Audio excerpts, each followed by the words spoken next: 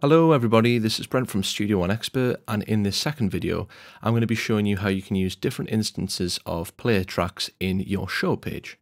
In the first video I showed how we could import this song here hanging on and we imported it from a song view so if you want to go back and watch the first video that'll probably make a lot more sense and then come and watch the second video. So in this second video I want to show how we can use software instruments as well as these auxiliary player tracks within the show page. So if we go over here and have a look, you can see that I've got an addictive keys loaded in. I've got a guitar track, a lead vocal track, and an external synthesizer using the brand new external instruments feature in Studio One version 5. So the first track, The Rhodes. Now, disclaimer, I am actually monitoring this out of a, a, virtual output into my recording software, so there might be some latency when I'm demoing these features, but that is not present in any of Studio One's updates currently. So, with that said, I'm going to show you uh, Addictive Keys here, which is just a third-party um, software instrument that I'm using over my track. So if I give you a play of my track here...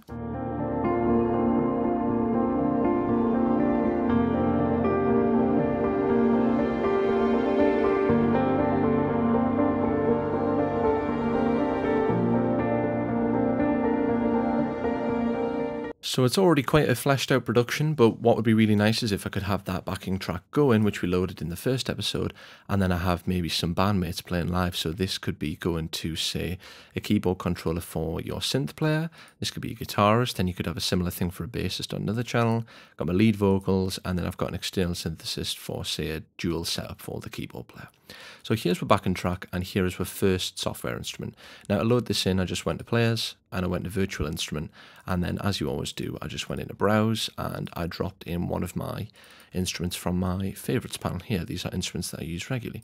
So if I come out of here, and I load in this Rhodes sound, you will be able to hear the beautiful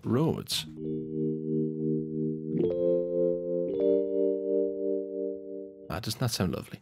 So what I'm going to do is I'm going to play that over this song and you'll hear how this can be a really big addition to bringing players into your live shows.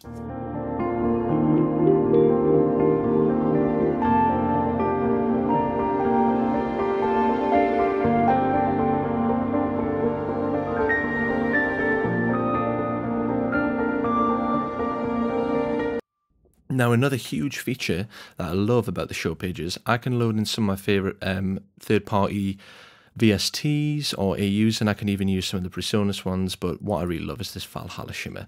Long story short, this thing basically is a pitch shifting reverb. I'm going to stick this on. We can already hear it's doing magical wonders. And this is another great part about the show feature is you can actually change some of the um, VSTs in real time, and you can add these effects in post and use them live. So let's have a listen to how that sounds.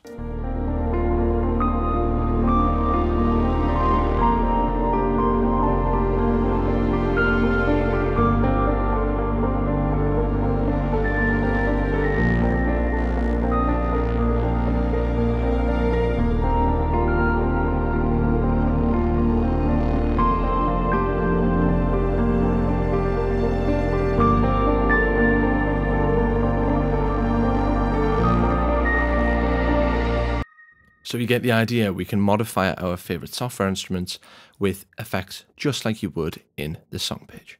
So if we move on to our second track here, I've got a guitar track and I have a guitar sitting right next to me and I'm going to pick that guitar up and this guitar track is going to have Ampire on from Presonus which was released in version 4.6 I believe last year and I've got a choice of different presets here, just like the song page. Everything's coming to the show page from the song page. Remember, it's just like a slightly stripped down version. And I've picked my head and my cab, and now I've got my effects on the bottom. And essentially, I've got a little um, external effects set up here, and I'm using the new analog delay, which is absolutely fantastic. And I'm grabbing this for a lot of um, delay now when it comes to if I want a delay plugin. This is probably the one I use nine times out of ten. That's an honest truth. And I've got that before the Ampire, or I could have it post. It's completely up to you. So if I enable both of these and I go over and grab my guitar, and I'm just going to bring the fader up on guitar track. Now let's have a listen to some guitar over this track.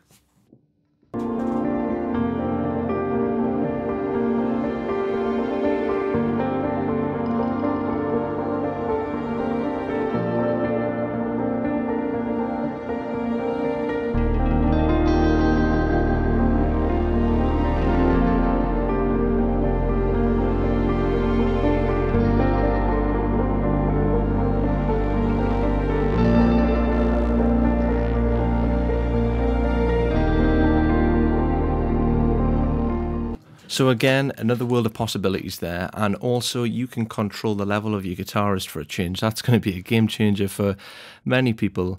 Um, maybe a bit unfortunate for guitarists, but we can actually be in control of our players' levels within the show page, which is a really great feature.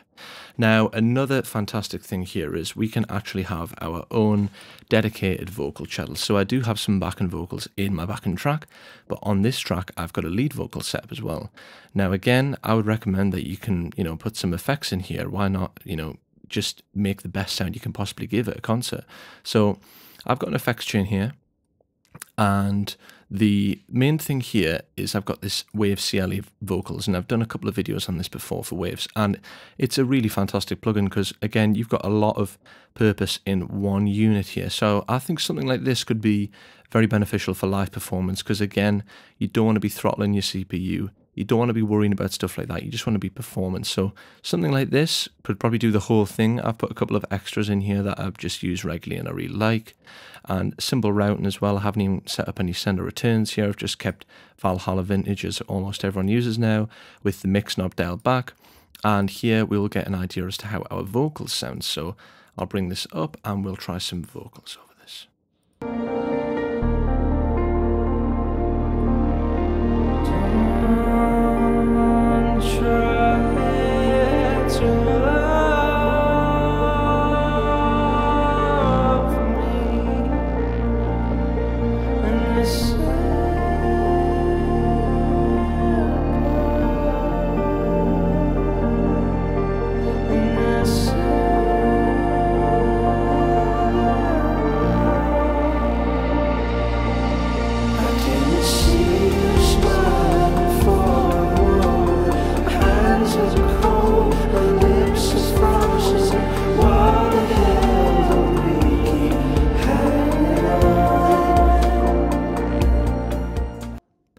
So, as you can hear, we're really starting to get a totally different experience to what most bands would deliver in a live scenario.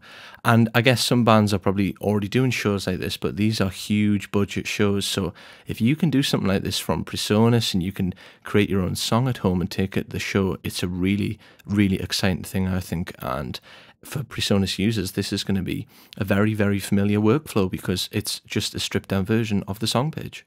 So finally, we're going to look at an external synthesizer and I have a ARP Odyssey behind me here and I'm just going to go over to the ARP and again we're using a couple of the fantastic new plugins that come with Studio One and I've got the analog delay and I've got a preset on there which I love and I just dial the feedback a bit which is 1976 old analog.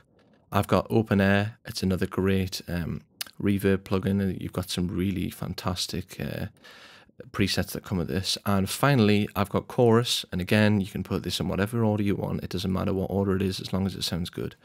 And this is a fantastic uh, chorus recreation. I love the way it sort of looks slightly like the RE201 and Roland stuff even though it's a chorus it just it looks great um, so let's have a listen to how that sounds without the effects and this is a little bit like the update they did in Omnisphere, where they allowed you to integrate hardware synthesizers and get more from your hardware synths with the software. So if we have a listen, here is what the synth sounds without the inserts.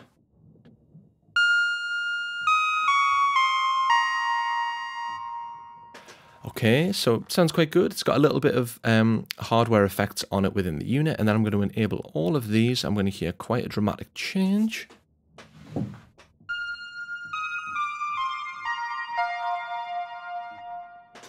So you can imagine combining that with your electric guitarist and a bassist and your lead vocals.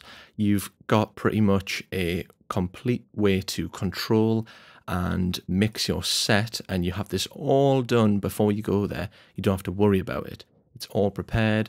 We're still not going hard on the performance meter here at the bottom at all. So let's finish this second video with um, a performance from the ARP, and I'll see you in the next one.